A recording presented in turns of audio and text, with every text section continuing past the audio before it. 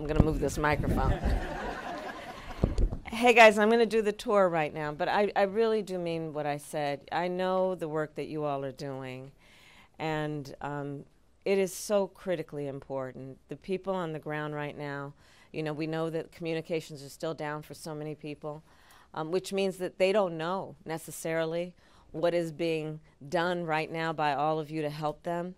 But I know, based on what you all historically have done, that the folks on the ground who have been impacted, I'm sure, have faith that you all are here right now as you are, and that they know in their hearts that you all are working around the clock as you've been.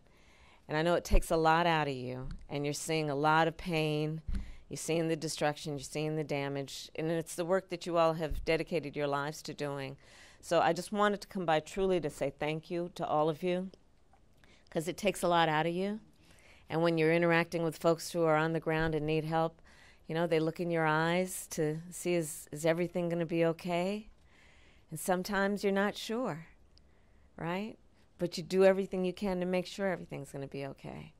And that's a strength that you uniquely have when you do this kind of work that you all do.